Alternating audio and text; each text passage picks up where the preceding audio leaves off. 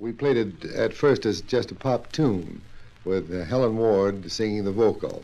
But we weren't uh, impressed with the arrangement, and so in kind of a kidding way, we uh, started to jam—that uh, is, to fake a little bit about the tune, and uh, continued adding a little bit to it every night.